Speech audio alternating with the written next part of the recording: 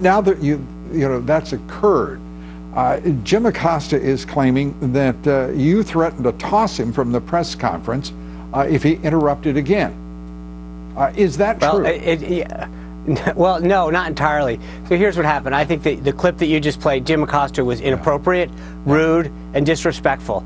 Uh, and he did it twice. He did it then, the clip that you showed, and he did it again later.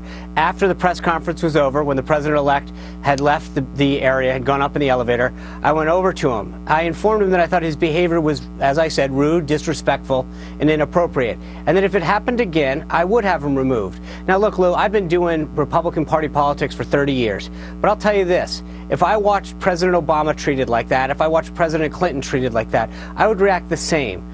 The office of President elect of President of the United States deserves a level of respect. And having a reporter stand up and basically yell and scream and act as inappropriately and rude as he did is a disgrace. We're better than that. And he was an embarrassment to the press corps. Frankly, beyond the embarrassment that he caused to the president elect, I think he's an embarrassment to the press corps because the, the rest of the press was behaving appropriately, raising their hand, asked to have questions asked. His network had already had a question answered.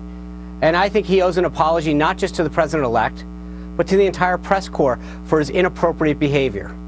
You know, casting back.